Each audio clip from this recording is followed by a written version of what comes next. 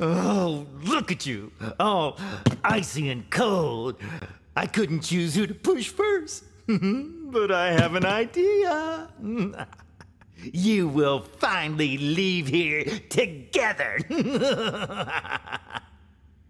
and go straight to the depths of hell.